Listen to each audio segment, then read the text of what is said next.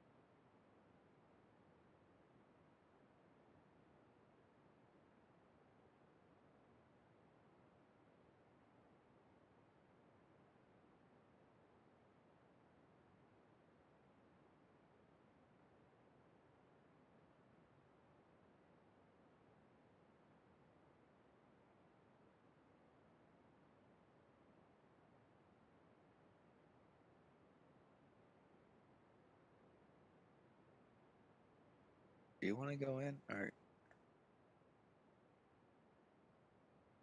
Okay. She's heading to his food.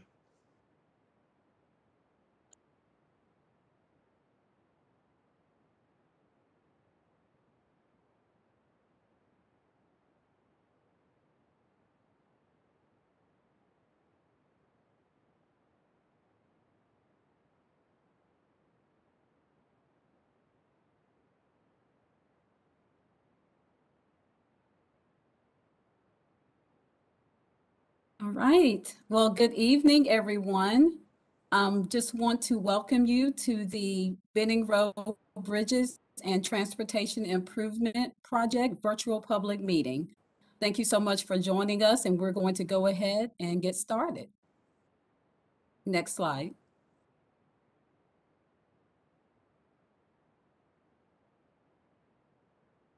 So just wanted to give you all some logistics in terms of how this meeting will be conducted.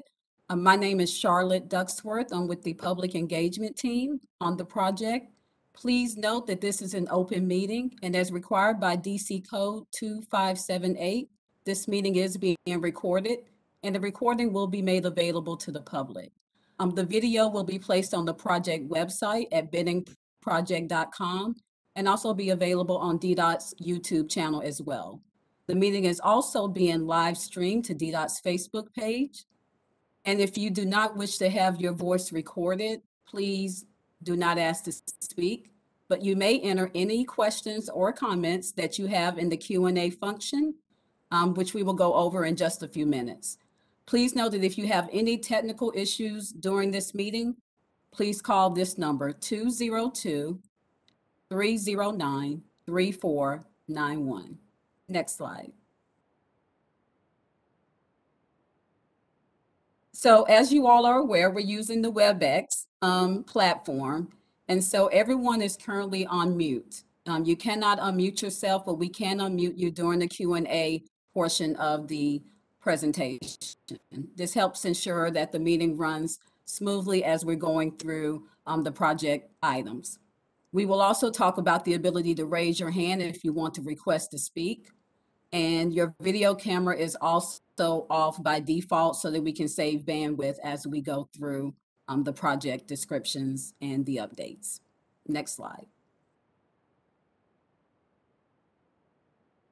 So we just talked about the Q&A, so let me just kind of visually give you an idea of where it is. Um, the Q&A function is enabled at the the bottom kind of right-hand side of your screen. You will click the three dot icon on the bottom um, and you will select Q&A. A new panel will appear where you can type in your question and press enter and it will come to all of all the panelists to make sure that we can get to your question. Um, if you have dialed in by phone, you will use star three um, to raise your hand since you will probably not be typing into the Q and A function. Um, also, that Q and A function is available on the mobile app. It's also a three dot icon as well. Um, and you will say, you will see Q and A and can type your question if you're using the mobile app. Next slide. So again, the raise hand feature. So if you're using um, the WebEx platform, you can click participants on the bottom right of the window. A new panel will appear um, where you'll see a little hand, a little raised hand. You will click the hand icon to raise your hand, and we will be able to take you off mute um, during the Q and A. If you've joined via the web browser or on the mobile app, you will again click the three dot icon and you will select raise hand. If you have dialed in by phone, again, dial star three and the raise hand, uh, it will notify us that you want to be taken off of mute to ask your question. Next slide. Um, and so we are, of course, have our wonderful ASL interpreters um, that are here with us this evening. Um, so use the slide bar to adjust the size of your stage window if you need to, um, so that you can have a broader view um, of the ASL interpreter. And then you can close any of the other open panels as well to adjust your view. Next slide.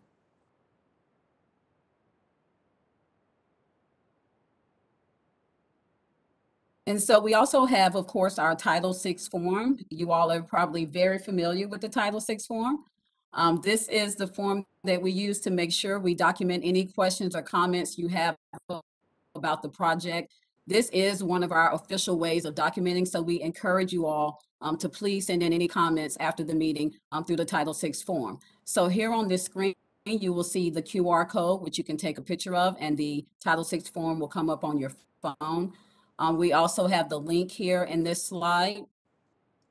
Also, what will happen once the presentation is over and we're finished with the Q and A, you will see a pop-up window and it will take you directly to the Title VI form once this meeting is over. So you can stay on and go go through the Title VI form and officially send in your comments um, to DDOT and the project team. So we love for you to um, send that information through so that we can document any other questions you may have. Next slide. Okay, so I am now going to turn this over to Nick Nicholson with Parsons. Um, they are our general engineering consultant on this project, so I'll turn it over to Nick. Thanks, Nick. Thank you, Charlotte. And good evening, everyone. Um, as stated, my name is Ronaldo Nick Nicholson. I am the project manager for the Benning Road Bridges and Transportation Improvement Project. I represent uh, Parsons and the general engineering consultant in charge of the design. It's my pleasure to introduce the project team that are here in this virtual environment to uh, assist me in the presentation as well as answering any questions afterwards. Imnet Bianco, she is the project manager with DDOT. David Takor, the project manager, program manager, I'm sorry. He's in charge of uh, DDOT projects in Ward 7 and 8. Carla Longshore, again with DDOT, James Benton, Derek Snowden, Alberta Paul, and Tanya Paul.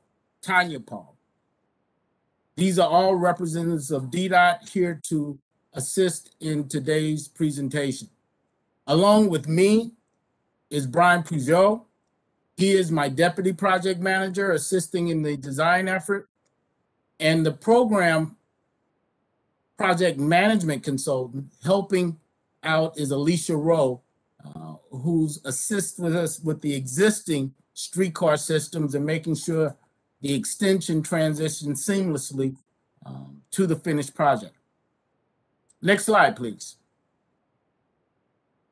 Here's today's agenda, uh, basically a project overview. Uh, we will talk about final design elements as we are now uh, in the final stages of that final design. Um, we have identified some right-of-way impacts, which we will talk about today. Project construction uh, and the project construction impacts. Along with that is a traffic transportation management plan. And we will finish off with a question and answer session um, after the presentation. Next slide. Starting our project overview, um, as I stated, we are in the final stages of the final design. Uh, We have been working for over a year and maybe um, longer than that. Uh, well, I guess we were asked out in February. But what we want to represent today are the improvements to the Benning Road corridor to safely and efficiently accommodate all modes of, of transportation within this corridor. We have done a whole litany of studies culminating with the approval of the environmental assessment in November of 2020 and a FONSI, a finding of no significant impacts um, that occurred in February of, of, of this year. This FONSI is supported by the Federal Highway Administration, the Federal Transit Administration, National Capital Planning Commission, and the National Park Service. The finalization of these documents provides us the approvals needed to advance this design to final design and and proceed to construction on a, a timely schedule. Next slide, please. The elements of the project consist of bridge rehabilitation and replacement, pedestrian and bicycle safety, as, as well as access improvements in accordance with the federal guidelines and DDOT standards.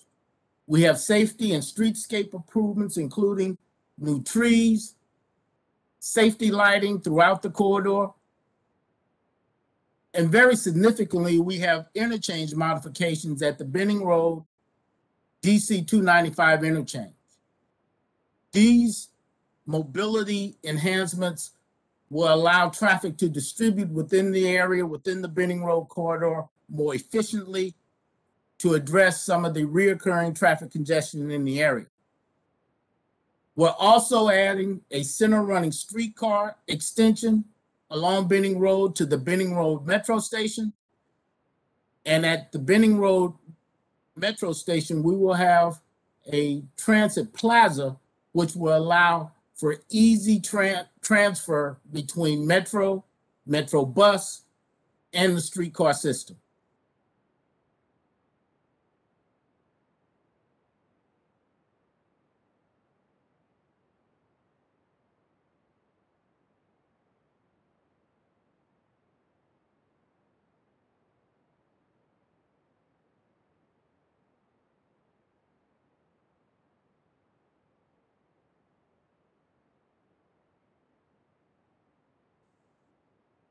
We'll also be rehabilitating two bridges, Kingman Lake Bridge, the Ethel Kennedy Bridge over the Anacostia River, and the complete replacement of the Lorraine Whitback Whitlock Memorial Bridge over DC 295 and CSX Railroad.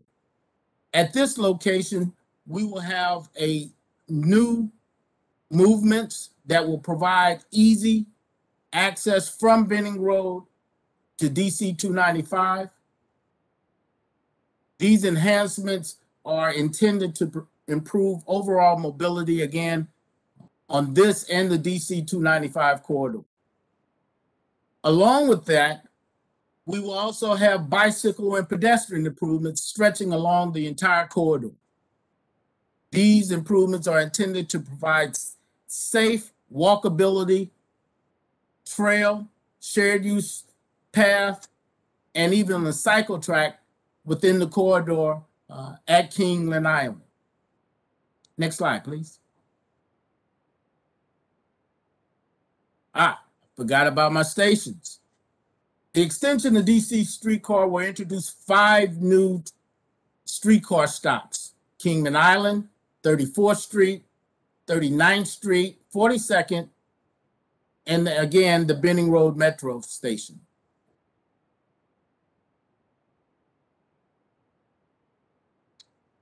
Throughout the project, we have looked forward and encouraged community engagement.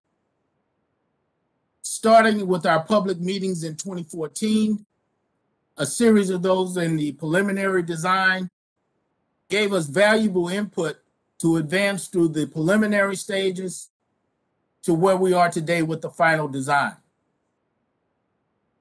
This being our second virtual project update, it will provide specifics on the final design details of the project. Next slide. Some of the feedback that have we have gathered from these this public engagement and incorporated into the project has included pedestrian safety at the intersections,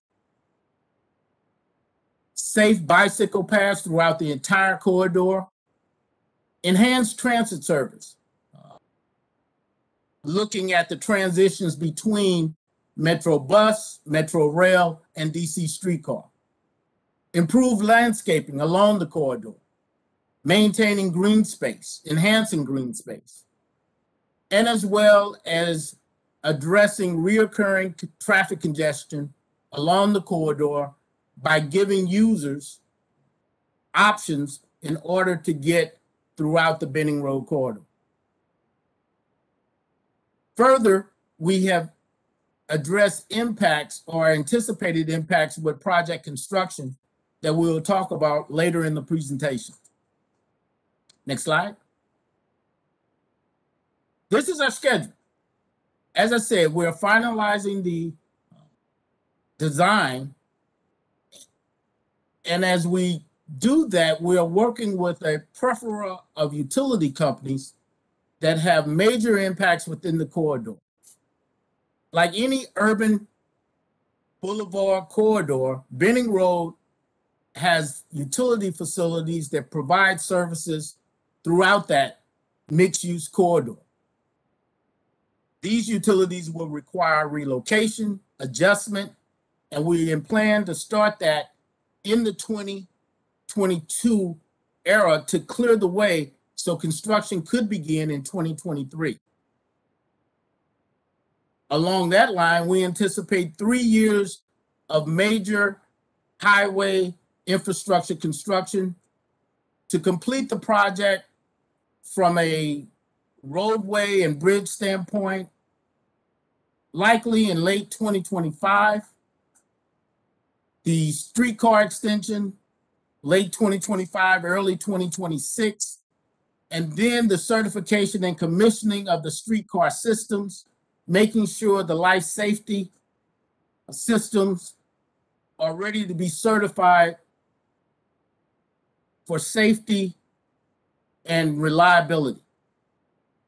That means that we we anticipate complete completion of the Benning Road Bridges and Transportation Improvement Project in the calendar year 2026.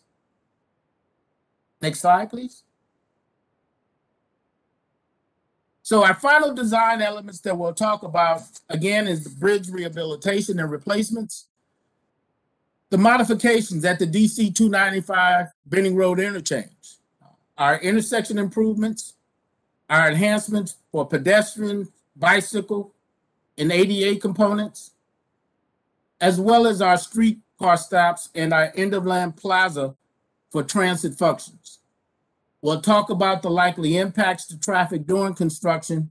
And again, um, at that point, we'll open it up for questions. Next slide. We will be rehabilitating the Kingman Lake Bridge as well as the Ethel Kennedy Bridge. By rehabilitation, we mean addressing um, the deterioration of those components and making sure they meet current bridge and DDOT standards. We'll also be including, um, embedding rather, streetcar tracks in those two bridges. At the Lorraine H. Whitlock Memorial Bridge, that will be a total replacement where we will build a new structure uh, with new with a new configuration to provide three additional movements to and from Benning Road to DC 295. Along with that, we will expand the bridge to provide pedestrian and shared use bicycle tra- uh, trails and enhancement for public safety such as street lighting and barrier protected uh, on the paths. The next few slides give you a, a- few more details uh, showing the sidewalks on the on the um, this is the Kingman Island Bridge. No, this is the Kingman Island Lake. Um, both sides have barrier protected sidewalks. We will have a shared streetcar tracks with vehicular traffic throughout the corridor. Next slide, please.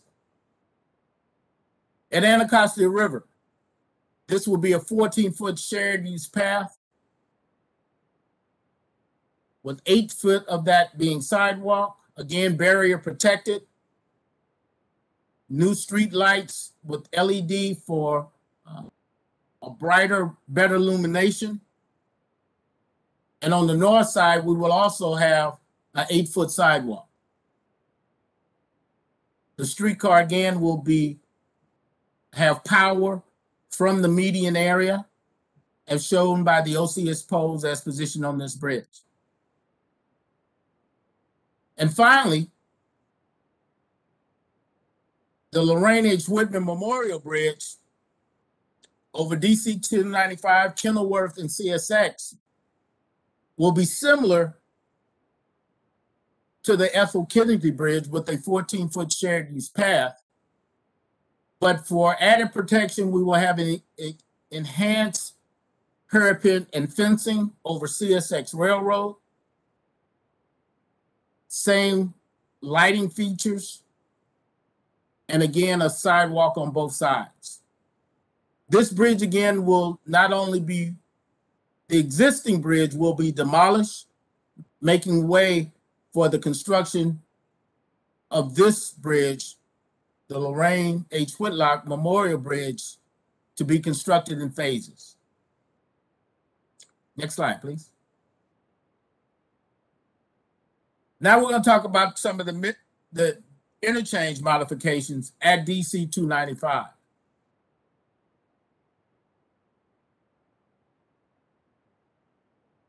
The existing interchange has four movements. Um, These movements vary um, in complexity of being able to negotiate either coming off of northbound DC 295 or headed westbound or entering northbound DC 295, the, the merge lanes underneath um, the existing bridge.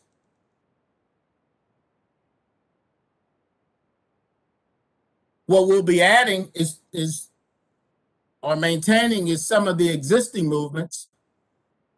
Eastbound to southbound DC 295, southbound Kenilworth Avenue to westbound Benning Road, as well as eastbound Benning Road to northbound DC 295. Those movements will be improved with better sight distance and more maneuverability for larger vehicles um, that may be on that corridor.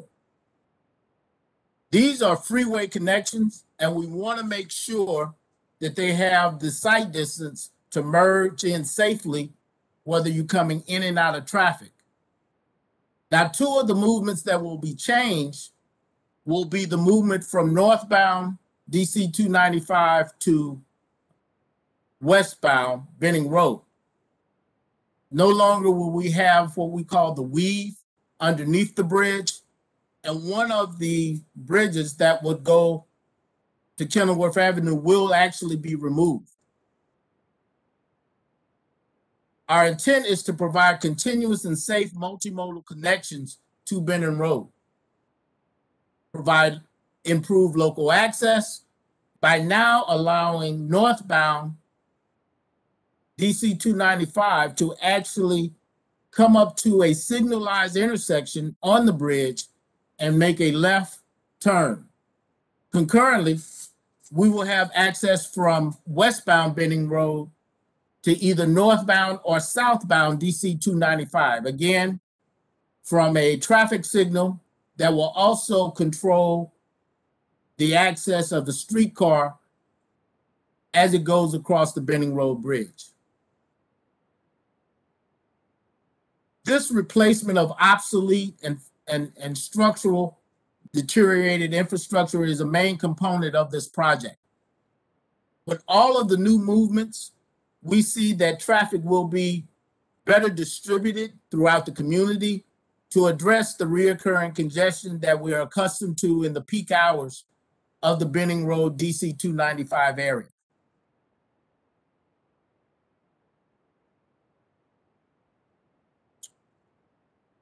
Additionally, we looked at improvement of the access into River Terrace. We will relocate the entrance to Blake, um, providing a longer merge or weave distance for traffic. At the same time, have a controlled stop to address traffic that is coming off the freeway. Moving this ramp off to aid in place will extend the length of which drivers can merge, as well as improve sight distance so that there's better visibility for those potential conflicting drivers. Next slide, please. The next couple of slides so slow shows graphically um, some renderings of the ultimate improvements.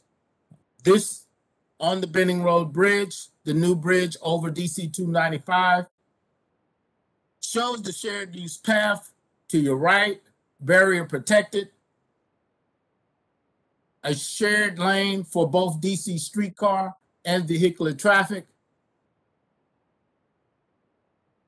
as well as the protected fence over the freeway and DC two and um, CSX Railroad.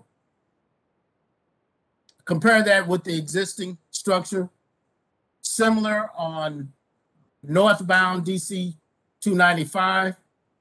This graphic shows traffic merging from the bridge to northbound DC 295 with this independent merge lane um, that will come off the bridge and provide access. And again, merge distance onto DC 295 northbound. Next slide, please. This last two graphics shows the transformation of the existing interchange with the two ramps below to the new configuration that shows the three ramps now connecting up on top of the new structure with DC streetcar and the removal and additional green space of one of the previous ramp with a relocated ramp providing additional space, visibility, and merge distance as you come from northbound DC New DC 295, I'm sorry, westbound Benning Road to merge to DC 295.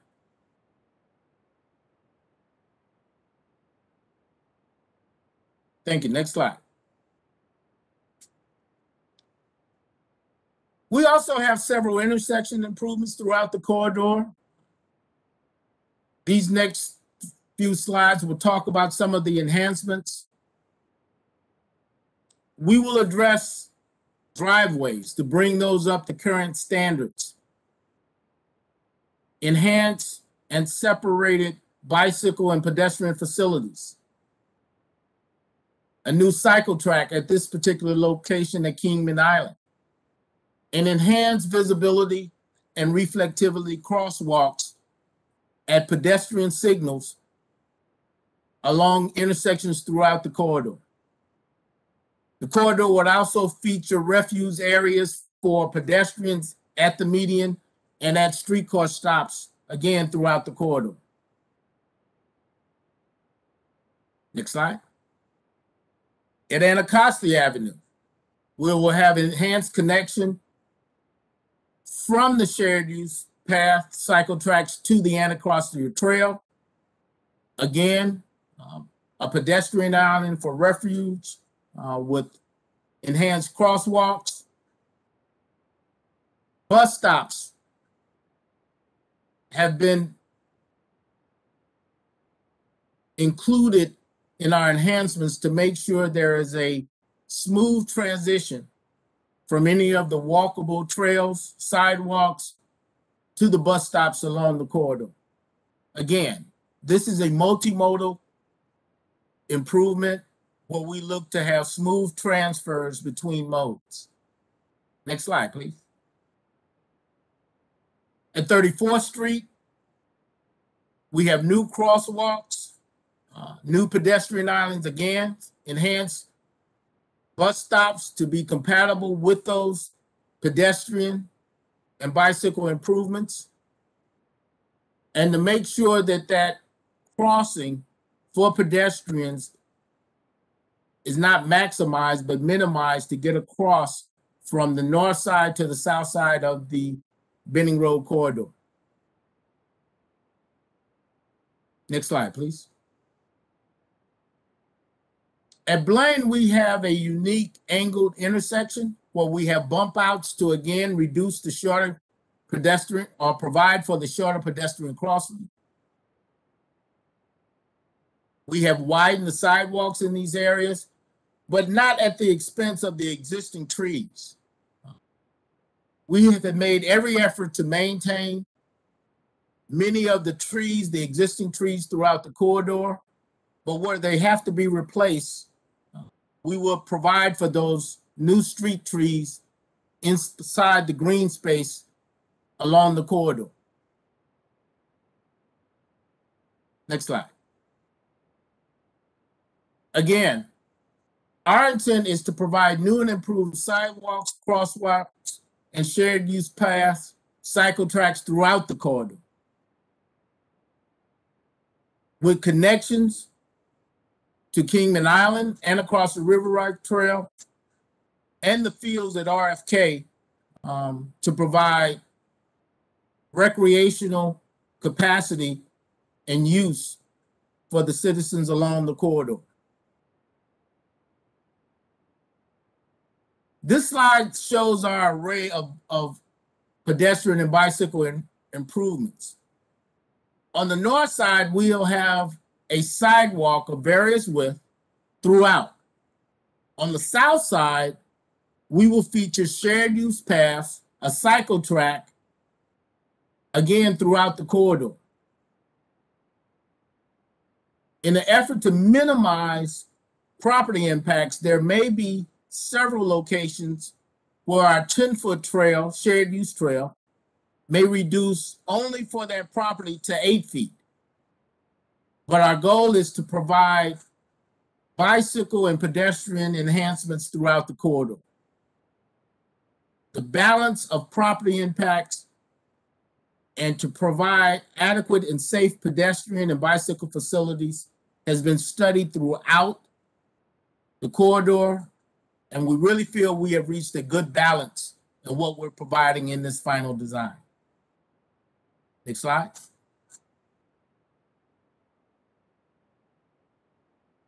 As I said, this is an extension of the DC streetcar from the car barn at 26th Street with five new stops culminating at the Benning Road Metro Station. These stops will be typical to those on the H Benning section, the, the existing section, uh, providing shelters, accessibility at signalized intersection, low le- level boarding for ADA compliance,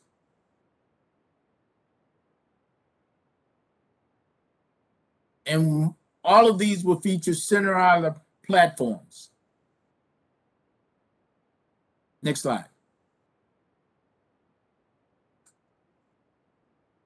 At 26th Street, in recognition of the volume of pedestrian traffic, We have installed new crosswalks coming off of Oklahoma Avenue in order for students to get from the south side of the residential communities to the Spingarn educational facilities. These will not be in conflict with the new track shown there from streetcar, although we will maintain the crosswalk at 26th Street, and that will be controlled with a signalized intersection for pedestrians. Next slide, please.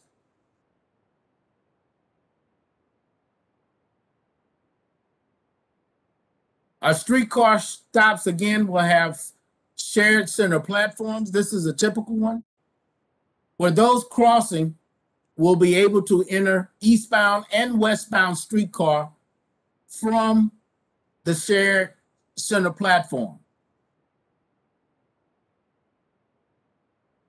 This will be a signalized intersection. We will also have split platforms as shown on 34th Street, where westbound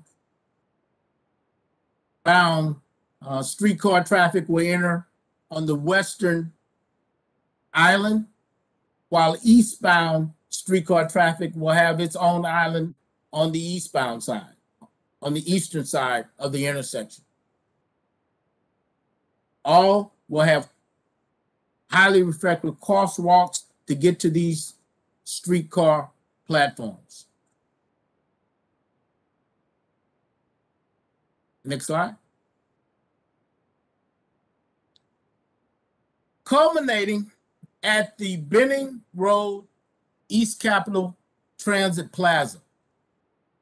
Previous concepts, we showed this terminus in the meeting. Based on feedback from our stakeholders as well as concerns for jaywalking and, and folks basically trying to get from Metro to the streetcar, we have developed this final design concept that will feature a walkable plaza for transfers between Metro Bus, Metro Rail, and the um, streetcar.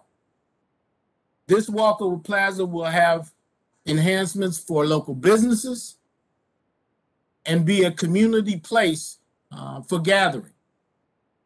One thing to note, we will have one of our substation off 44th Street that will be blended architecturally with the community. This feature is needed um, for the power of the streetcar, but it is our intent to work with the community to make sure, again, that it blends directly with the community.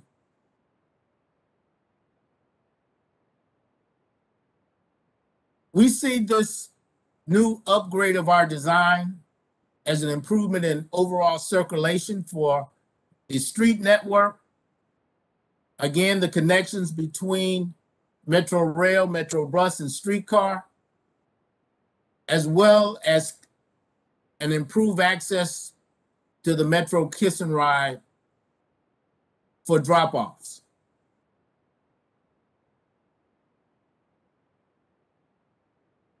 Next slide, please.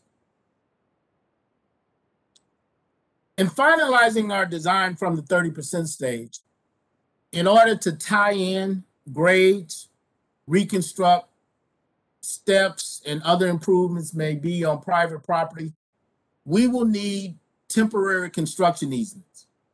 What these are are the temporary right to perform construction activities on private property, such as redoing driveways, again, tying in grades, reconstructing steps because of grade changes, and overall just to improve the accessibility and tie in the Benning Road improvements to those adjacent properties. We see these easements being needed throughout the duration of construction, maybe three years. Compensation for these eas- easements will be in accordance with federal highway guidelines.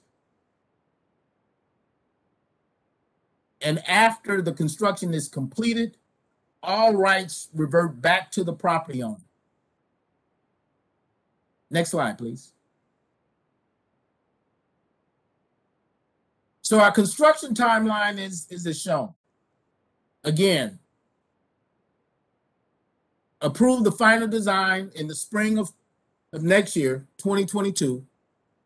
Start utility relocations, and, and they are major throughout the corridor. Both underground and aerial poles have to be relocated, as well as communication, power conduit, Washington gas. All the utilities have to be adjusted to clear the way such that after procurement in the fall of 2022, our contractor can start meaningful construction in the spring of 2023.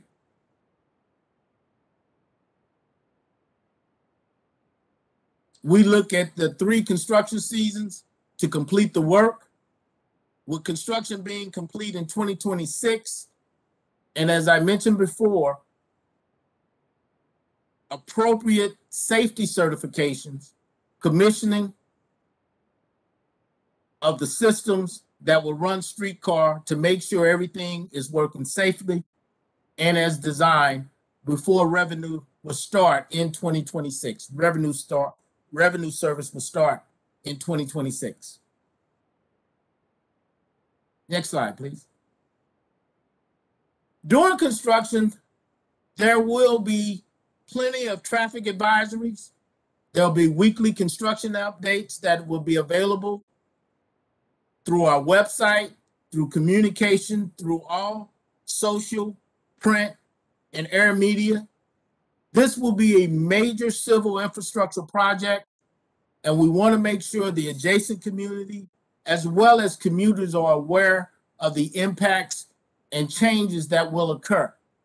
We have developed a traffic management plan to anticipate some of the impacts that will occur during the three years of active construction.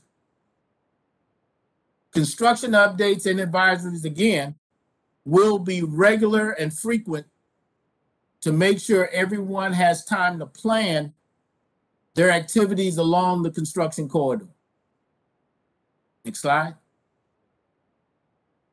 We want to make sure that as we maintain traffic for and transit, as well as pedestrian and bicycle safety, that everyone recognizes and obeys our traffic signs, as we will provide access for all modes throughout construction, including accessibility for all ADA compliance needs um, throughout the corridor. Next slide. Our goal, of course, is to maintain safety and minimize, minimize impacts to both the traveling public as well as the workers doing the work. Everybody needs to get home safely at the end of the day. So that again means obey the traffic signs, pay attention to traffic advisories and alert, and check our, our, our project website as it will give updates and provide information again so you can plan either your commute into work as well as your weekend excursions wherever they may be.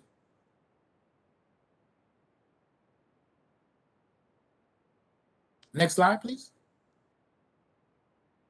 What these next slides will provide are some of the phasing that we anticipate during construction. The pre-phase will begin next year. As I stated, we, we anticipate major re- utility relocation throughout the corridor. This slide is looking towards the east. So the south side is on your right. we see major utility relocations happening to the north side with Washington Gas, Verizon, and Pepco, as well as in the median as we start to prepare the corridor for the contractor. The contractor's first phase. Next slide. Will start primarily on the southern side. In the first segment from Oklahoma to 36th Street, there'll be work on the two bridges, which is in the median. But there also, as you get closer to 36th Street, over the bridge be work to the south side, again, finalizing utility relocation and, and making way for new construction facilities, new biking facilities on that south side, which will continue to East Capitol Street. The second phase will switch to the westbound area, where similar activities will occur. Again, this will be major civil infrastructure construction and the work zones, barriers should be obeyed because these are hazardous work zones for those not familiar with them. So please obey the signs. Phase three, we will shift traffic back to the south side as we finalize those improvements again on the bridges. This time, the major bridge at Whitlock, Whitlock over DC 295 and CSX railroads. We anticipate by this time we will complete most of the major construction on the eastern part of the project. Next slide. The final phase will be primarily us completing the station stops throughout the corridor. And again, our efforts to commission, test, and obtain the, the safe, safety office's certification for the improvements, for the streetcar improvements. Next slide, please. As I mentioned, we develop a transportation management plan. What that plan provides is a planned effort to mitigate the impacts during construction.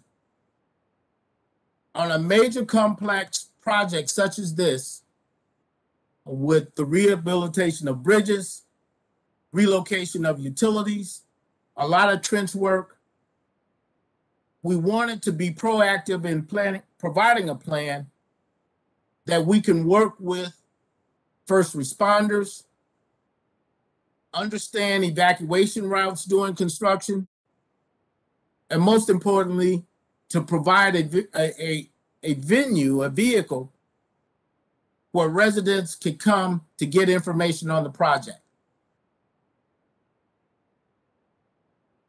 On, on a complex project like this, the awareness of the adjacent residents, businesses, as well as those commuters is very valuable in keeping the project safe to all involved, not just those that may traverse the project as they go from work to and from work and school, but also those that are working on the project, that are making all these improvements possible. We want to make sure they are safe as well. Next slide, please. So these strategies will include our traffic control systems. We will provide access to all businesses throughout. We will consolidate and inform of transit movements, moving bus stops, providing changeable message boards to inform while you're out there doing the site, as well as reducing speed limits during construction to make sure that everyone gets through the corridor safely. And lastly, and I can't emphasize enough, we will provide public information and outreach through all venues, social, air, and print media to keep everyone informed, as well as our website. Next slide. Some of our anticipated severe delays will be in the evening rush on westbound Benning. Um, through our studies, we are predicting up to five minutes um, during rush hour during the first two phases of the project. That's when these lanes will be reduced. As I said, the first phase will be on the eastbound lanes. And our studies show that there could be up to a five minute delay occurring as we complete that phase. Next slide. Similar, as we get into phases three and four, coming off Kenilworth Avenue southbound, we're anticipating major backups um, on DC 295 and Kenilworth Avenue. Um, these are during mon- the morning rush. And we will alert as we move into those phases. So commuters coming from Maryland, coming from the northern part of the city, can find other modes, other ways to, instead of using this area. That is part of our tra- transportation management plan to provide options to avoid some of the major impacts, delays that construction of this type may cause. Next slide. Finally, you can stay connected to the project. Uh, project email, benning.project at dc.gov. This is manned by our project communication staff. You may contact the project manager, Emnet Banco. Her email address and direct contact information at 202 302 6892 is provided. But always, always check our project website for updates. BenningProject.com. Thank you for your time and attention. And I turn it back over to you, Charlotte.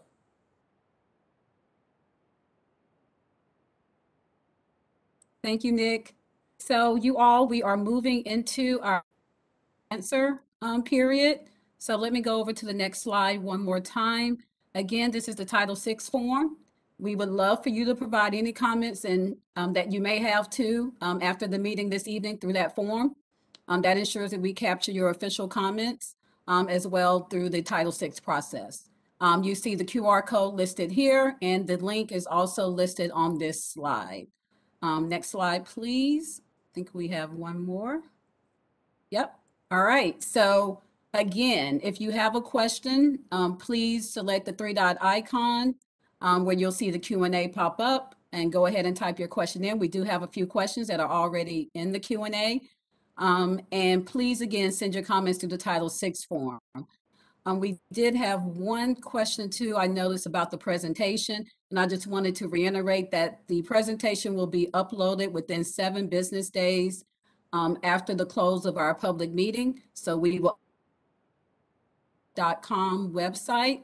Um, so please actually go on to the benningproject.com website and download the presentation from there. All right. Ian, I will turn it over to you because I think we have some questions in the queue. Thank you, Charlotte. Again, good evening, everyone. Um, how the Q and A portion will work, I will read off the questions as we receive them, uh, and then uh, I will move those questions over to Nick, and then uh, he will uh, provide the technical expertise or the uh, answers for those questions. Again, thank you for everyone for participating this evening. The first question, where can we find more detailed design documents to review and comment on? On the website, all I see is an EA document, which is no longer the most up-to-date design document. Thank you.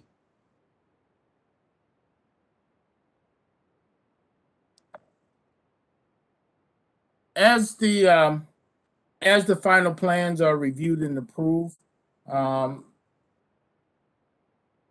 we will post the information there.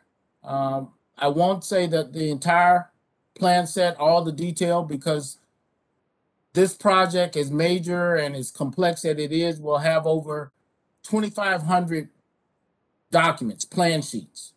Um, but as far as the major design elements that we talked today about today, once we finalize that design, um, we will have it available uh, on on the website.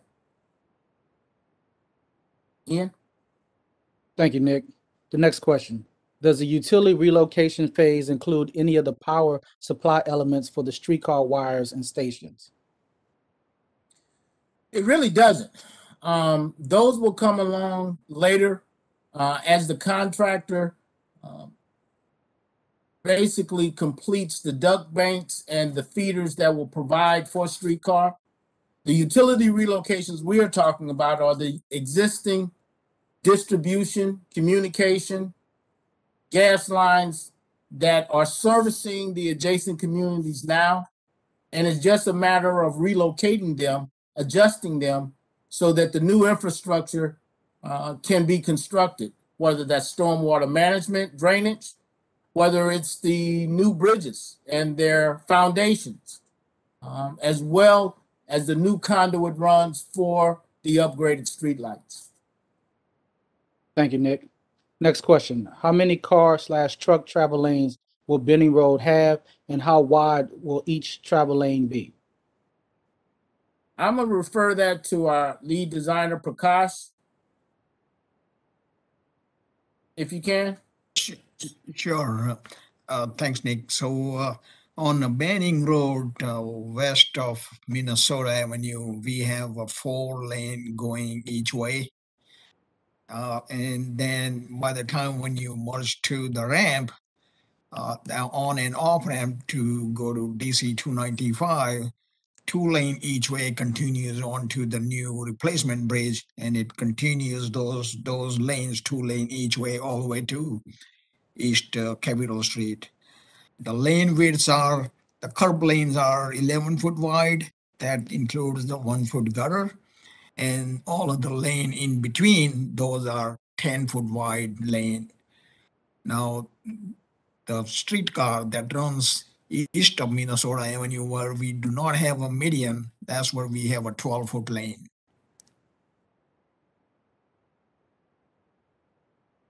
Thank you, Prakash. Nick, the next question. Can we see a close-up design of 36th Street, currently very dangerous to cross? Um, I don't know if we can do it during this presentations. If you can contact uh, me or Emnet, um, we can work out a Teams meeting for you um, to talk to you about those details of our design.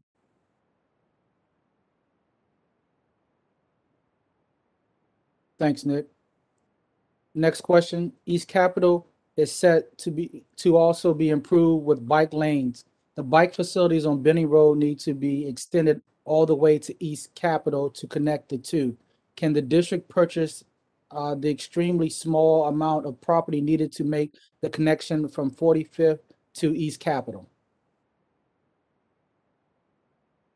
We we are looking and and as I said, uh, trying to get a balance between property impacts and how we extend it. We are connecting to East Capitol Street. Um, we are working on finalizing that design as we as we speak. Um, given the plaza in in the area, we have enhanced have enhanced the north side with a walkable and bike friendly area. Um, we're now looking at how do we accommodate that uh, or tie into that on East Capitol. That is some of the final detail details that we're currently working on. But we agree with the point of of tying that in um, to to make sure that we have a continuous um, shared use path. Thanks, Nick. The next question has three parts. I'll read the first question. You mentioned the sidewalk will be a variable width on the north side of Benning. What is the smallest width that it will be between Kingman Island and the highway? Prakash, can you take that? I, I want to be sure we're accurate. Uh, yes, on the north side, we will have a, a, a six foot wide sidewalk uh, throughout the corridor on the north side. Thank you. Next question, will there be enough width for two people on bike or walking to, I think it's access at the same time?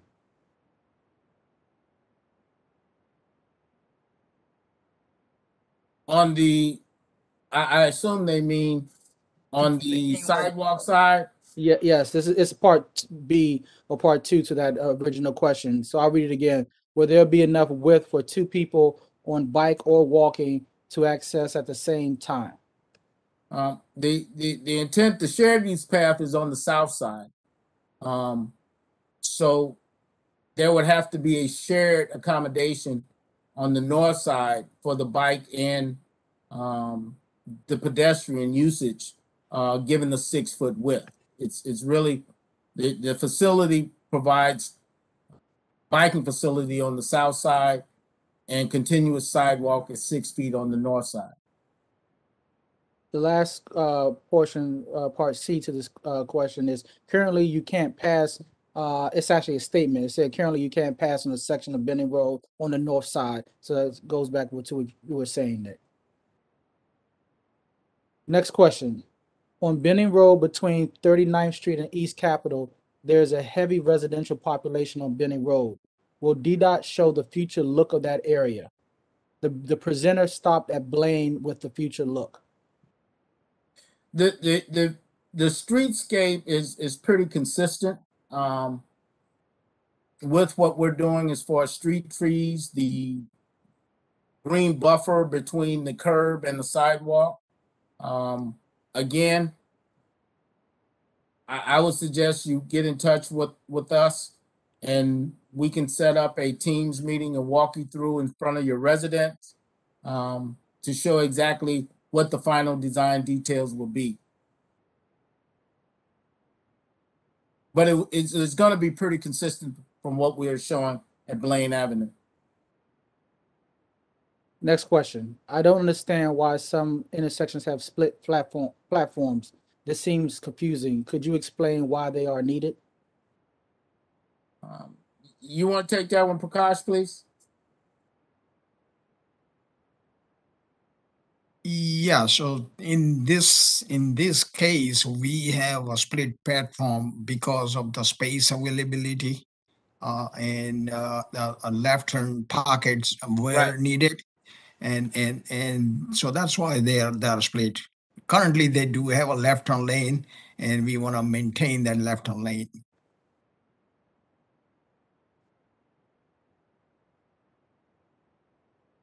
Thanks, Prakash. Next question. Do you have travel time estimates for a streetcar trip along the platforms? The, uh, I'm sorry, a streetcar permission a- along the corridor as designed. How does this compare with a trip by car? Uh, Adrian, can you take that one, please? Yeah, no problem. Um, so the delta that we're seeing, and this actually includes the dwell times um, for the streetcar uh, stations, is two to three minutes in the AM and then three to four minutes in the PM is the delta that we're seeing. Thank you. Thanks, Adrian. Um, why can you not widen the side path on the Kingman Lake Bridge? 11 feet is pretty narrow for a popular walking and biking path. Couldn't you repurpose some of the extra uh, wide driving lane space?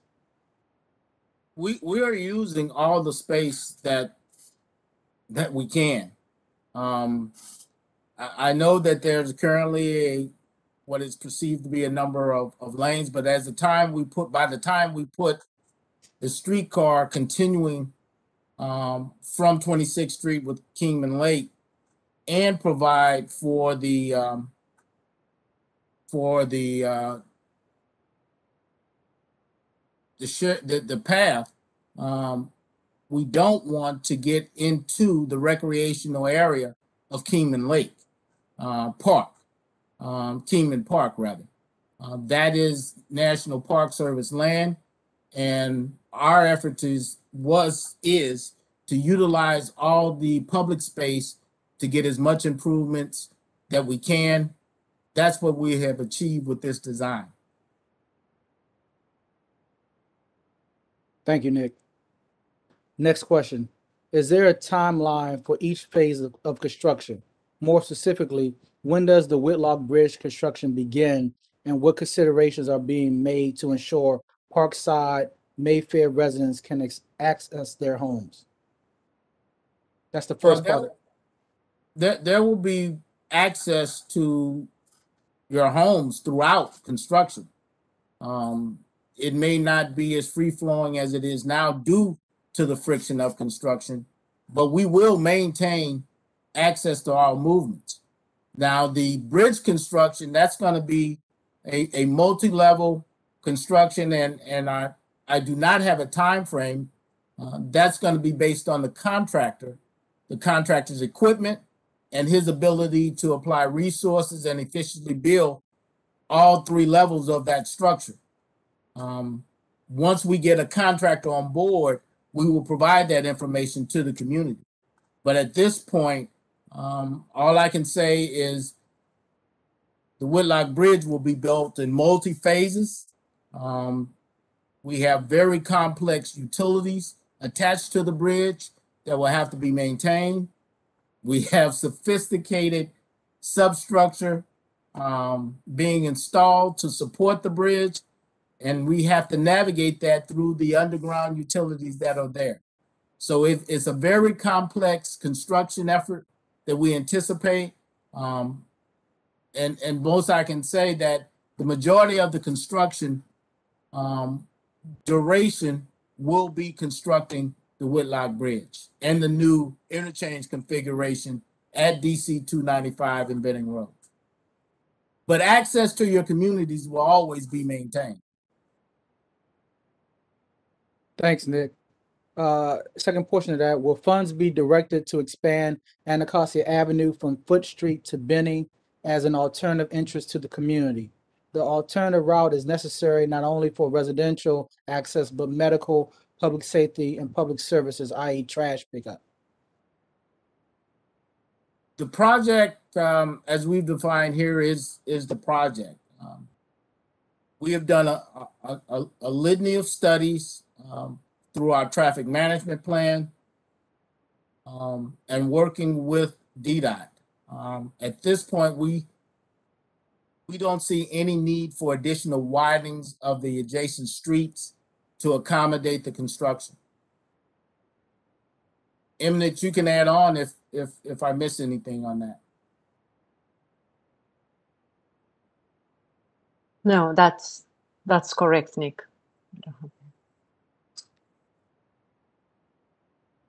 Thank you, Nick. Thank you, Emnet. The next question. What are the plans to provide bike connectivity further west on Benning Road from Oklahoma West?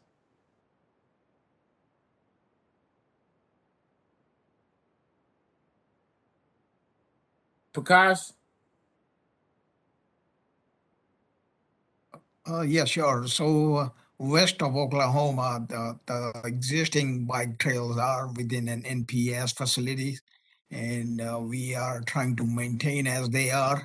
Uh, as soon as they start coming on to uh, the first uh, Kingman Island Bridge and underneath the Vomada overpass, that's when we start doing our work. So isn't uh, you know right away in NPS properties and all of those. So west west of Oklahoma is we are maintaining same as same as what is what is out there. Thank you, Prakash.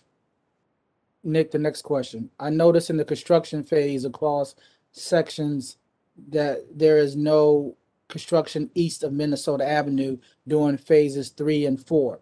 So does that mean that the design team expects work east of Minnesota Avenue to be completed much earlier than the areas of west of Minnesota Avenue?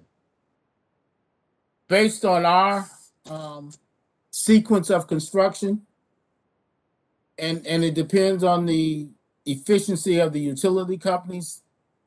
We see that we can complete east of Minnesota um, as, as the first section uh, of the overall project. Now, again, um, that will depend on the contractor.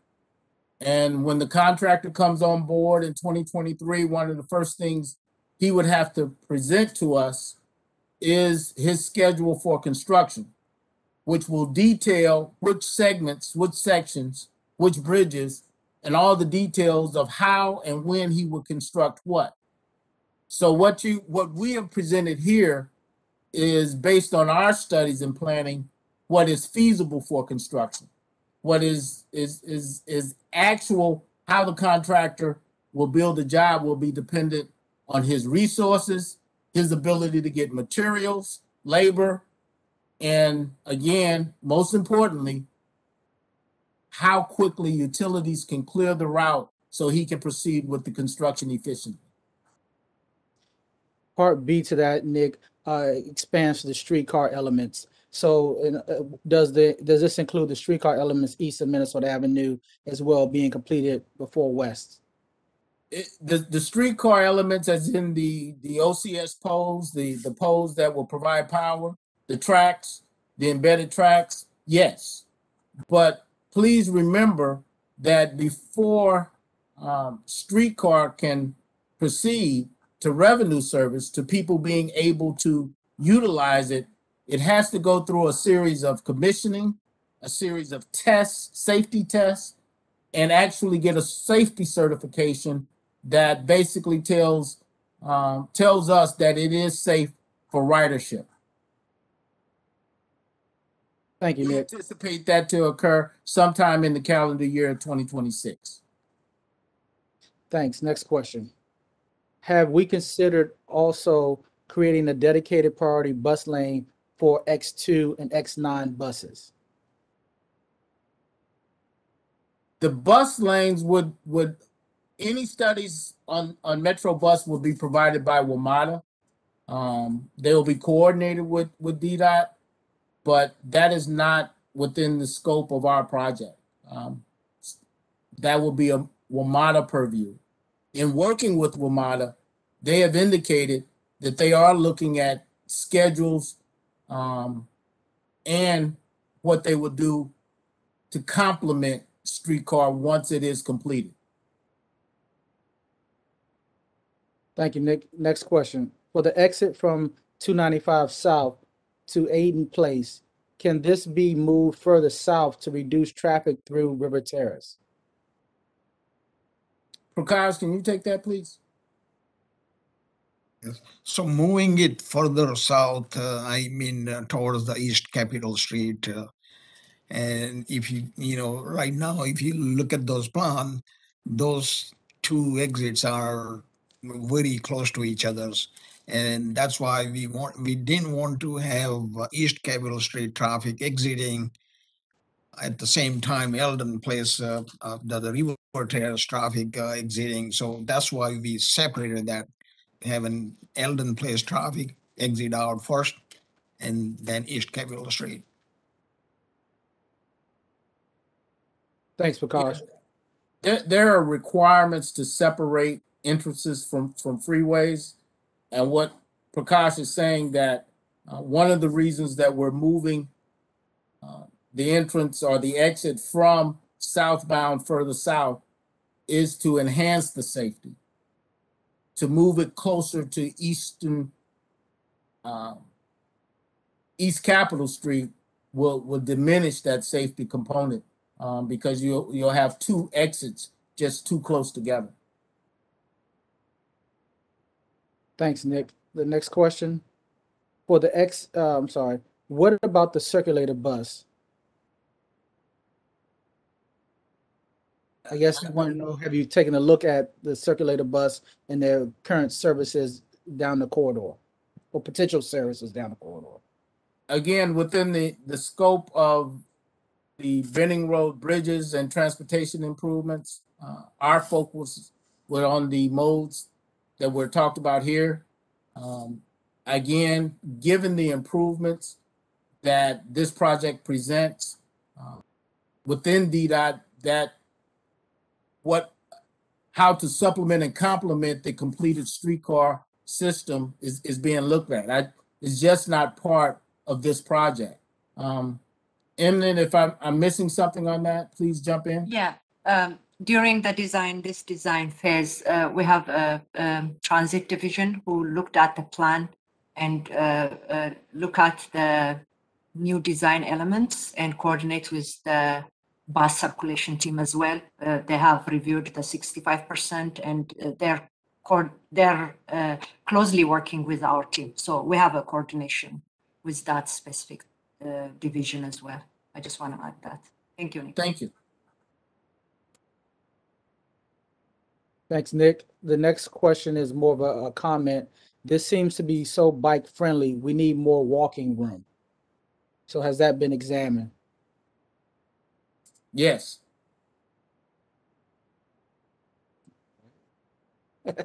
Okay. Do you- Next question. Do you have any renderings of the transit plaza at Benning Road Metro? This is a fantastic change from the previous plans, but I would love to get a better idea of landscaping, furnishings, etc. Thanks. Yes, thank you. Um, we, we think it's a great enhancement as well. Uh, we are currently working on, uh, perspectives and renderings and, um, as we start to again finalize the design, um, for the plaza, uh, via our website, uh, we will provide renderings or perspective views of what this plaza will look like in its ultimate finished form.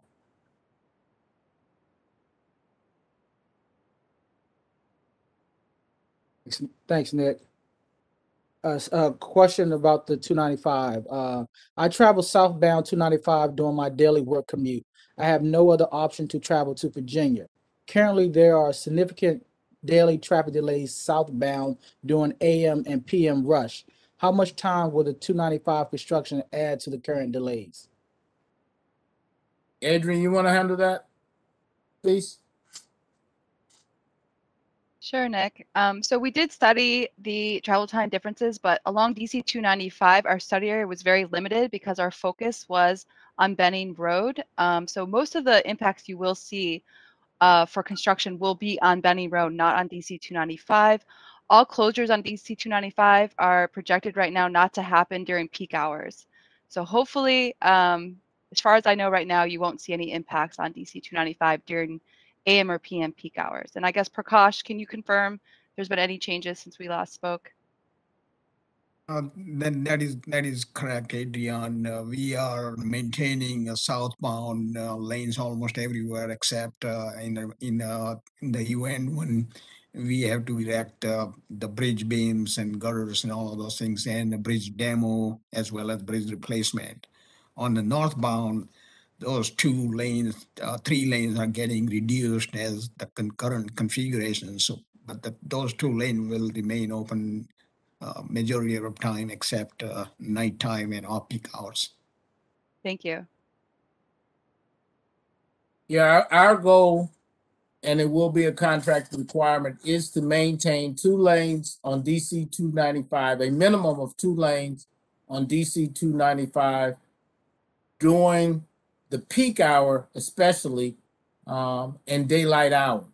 Um, as mentioned, there will be a timeframes during demolition of the existing bridge or erection of girders for the new bridges that we may have to to close that uh, temporarily at night um, in order to maintain again the safety of not just the traveling public but the workers as well. Thanks, uh, Nick and Adrian. I appreciate the continued work to bring safety to all users, pedestrians, cyclists, and driver in this project. But there also needs to be a continuation of safe bike spaces from Oklahoma Avenue to Maryland Avenue. I was doored just last week on that particular part of Benning. Will this be addressed in a future project? That may be a question for Emnet.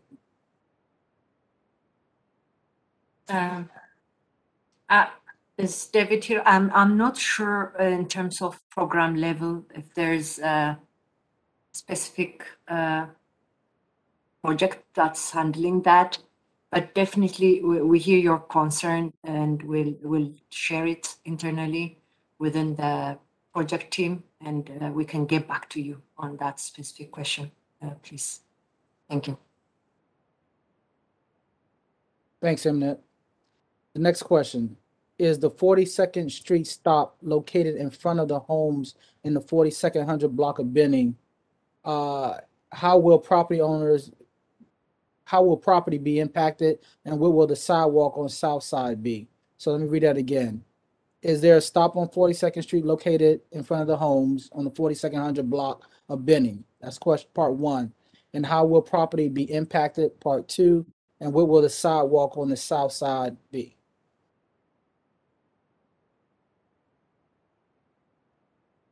As far as the presentation and individual property impacts, I I suggest we we meet one on one to talk about those. As far as the worst case will be, as I said, um some type of temporary impacts that we would tie on, and then under that circumstance, all of those will be coordinated and worked out with the individual property owner. Um, Prakash or Paul, can you help me out on the stop there? Uh, yeah, so the south side, because we are, we are installing the, the median stop. Uh, good thing is we are widening the roadway on the north side, on the park side, as well as on the south side. So south side sidewalk is going to move further south. And, and, uh, knowing the, maintaining the, the pedestrian facilities, the sidewalk will be built first before we move that. When when when that phase of the work is done and, and uh, the sub the pedestrian will be moved on the other side on the north side. So and, and that's why we have uh, two separate phases. We are not working on eastbound and westbound at the same time. First we do the eastbound. Once that is done then we move on to the westbound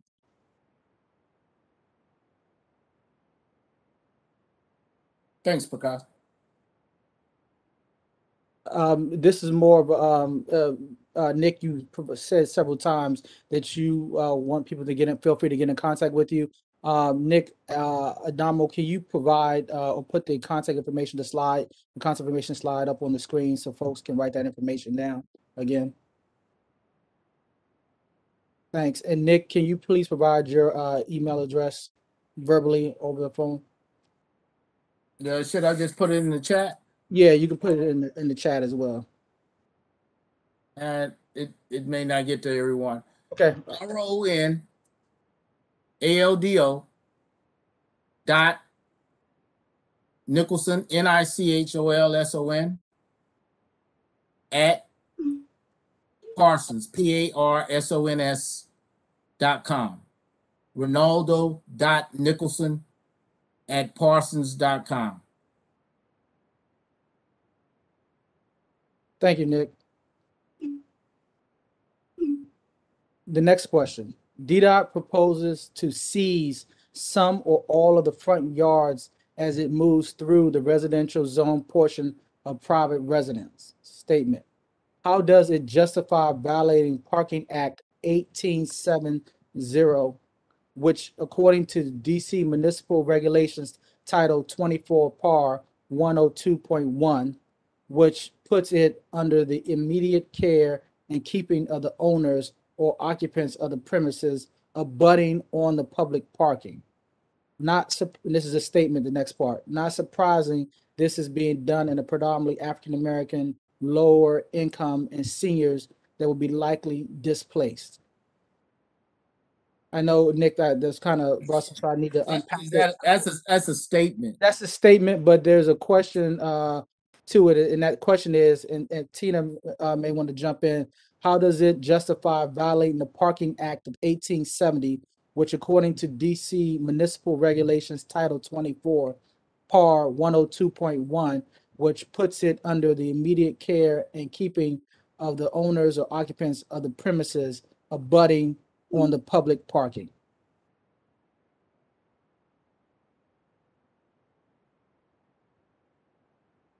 It's talking about, uh, uh, uh, Nick, I surmise, uh, uh, uh, uh, the understanding that, or, or the perce- perception that properties are being taken and not public spaces being used, public parking. Permanently. All I can say, the project is predominantly, majority, being constructed within the public space. In those areas that we do have property impacts that are outside, we will work with the individual property owner um, in accordance with Federal Highway Administration and DDOT guidelines to address that my my response to that that question is that the project is being designed compliant with federal and District of Columbia as well as DDOT requirements and laws.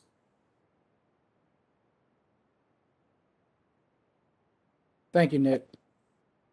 I'll go to the next question. Related to bulb outs, the February twenty twenty storyboards show that hard bulb outs will be made at Benning and East Capitol in an undefined concurrent project. I haven't seen in this project and haven't seen in the East Capitol Street Safety and Mobility Project. So what project should we expect to see hard bulb outs at the intersection of East Capitol and Benning? We're we're looking and working with that adjacent project now uh, in finalizing our design. Uh, that's that's part of the reason. Um, that is the outstanding final design component of the overall design. Um, again, um, once we have that, it would be available uh, via the website, or please get in touch with me and we can talk about your concerns. But we are coordinating with the East Capitol um, mobility study as we speak uh, to making sure that both projects are compatible and the concerns of, of both do not conflict with each other. Thanks, Nick. We have a couple more questions and we have a, a person on the phone uh, who doesn't have uh, access to typing a question. So let me get through these uh, quickly. The next question is, uh, will the traffic signals prioritize pedestrian access to the streetcar platforms and the streetcar and the bus traffic in any way? Adrian, can, can you handle that? Yeah, no problem. Um, currently, uh, we do not have transit signal priority to make changes of the signal timing, but we will allow the minimum pedestrian time crossing for all the for all the intersections along Benning Road um, to get pedestrians to the Benning Road metro station. So right now we don't have transit signal priority, but we're not precluding to maybe making upgrades in the future.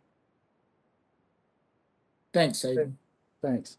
When the pro, when the projected finish time, when, when the projected finish time on the streetcar project at this point, it should, what is the projected, uh, uh, finish time on the streetcar project at this point, and would anything discontinue this project? Um, uh, the, the project has been approved, um, in the plans, the regional and city traffic plans, um, for funding.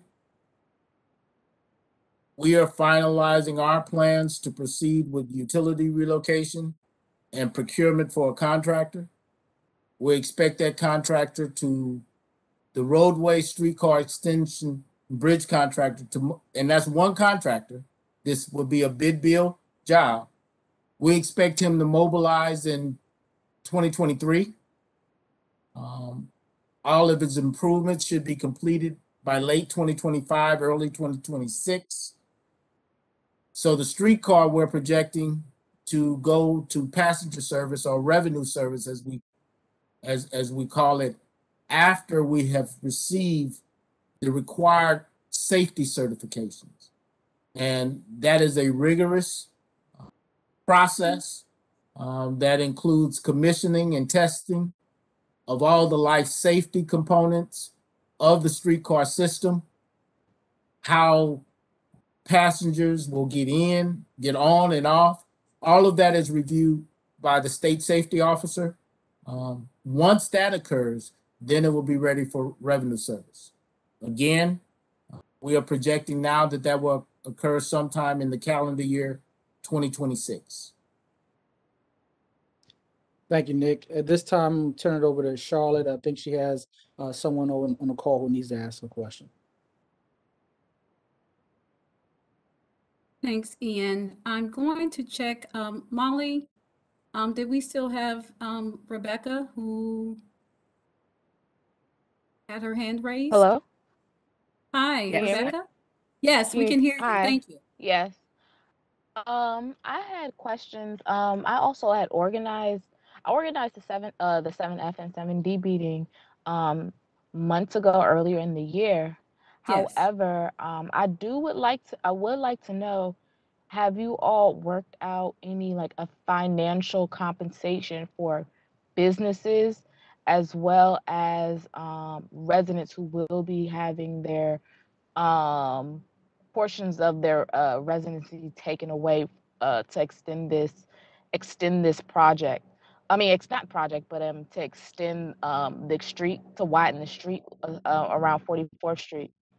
Um, and as I also had a question based on the you say you guys were putting um, what do you call those crosswalks around Spingon, and, and I wanted to know where they be raised raised um raised crosswalks or will they just be like the regular flat crosswalks? The, the, cro- the proposed crosswalks will be uh, flat with highly reflective crossing uh, on them um, at, at, at the, to match the existing crosswalks throughout the corridor. Um, The Okay. new crosswalk will be the, be at the crossing at Oklahoma. Um, Okay.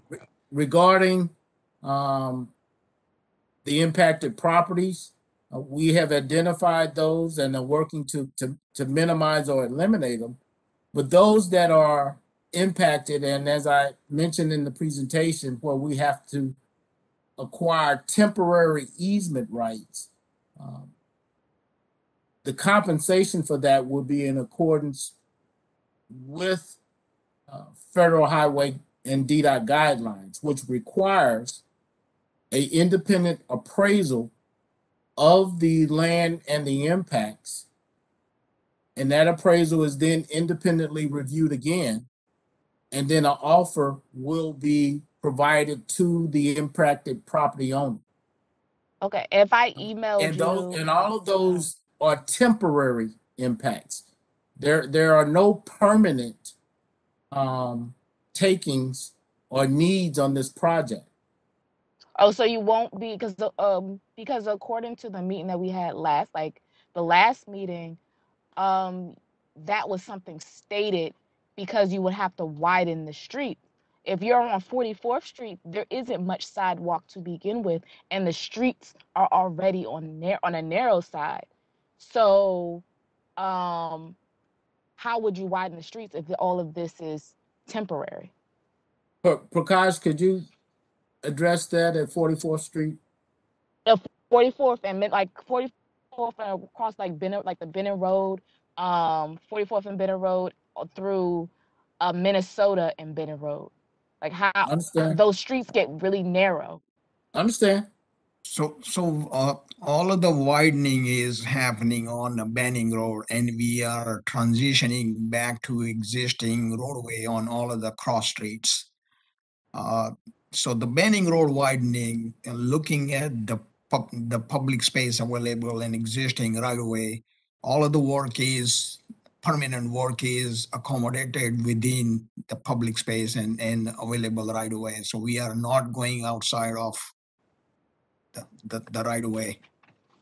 If con if I contact you, would you would you um allow like do like a citizens walkthrough um with you all so that we could visually um because it's one thing for us to see it on a map, but sometimes seeing it on a map doesn't really give us uh a clue because a lot of these are kind of like cartoonish pictures not like cartoon they're kind of cartoonish pictures versus what we see in our daily routine life um is this something possible that you all do or do you just kind of stay in the engineer behind the scenes side? No, we, we, we, we, we do field visits with, with property owners and we'll be happy to uh, coordinate and work with you through DDOT to have that, that type of walkthrough.